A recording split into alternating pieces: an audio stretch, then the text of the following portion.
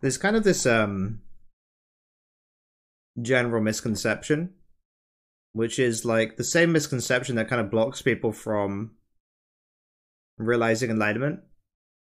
And it's kind of a it's a difficult block because it's universal.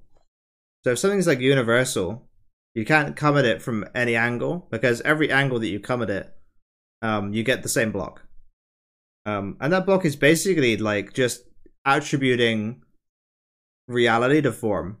Like there's all these different sense stores, there's sight, there's thought, there's, you know, feelings, um there's hearing. And every single one of those sense stores is form. But like the true mind, the enlightened mind, is formless.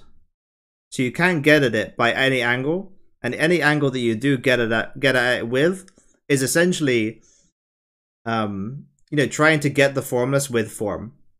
Like you're trying to get at something which isn't of the same like substance as like the thing you're trying to get it with. So like all the seeking is just like pointless in every sense or every every way of seeking is just completely pointless. Um but like then how do you how do you realize it? Uh well you just have to not be conceptual you have to approach like non-conceptually. So like if you just let go of all your concepts and just connect with that like formless, non-arising mind, which has has no form, right? But isn't isn't of itself uh, an object that is empty or is formless, right? Because then it wouldn't necessarily be form. So it's not in the realm of form or not form.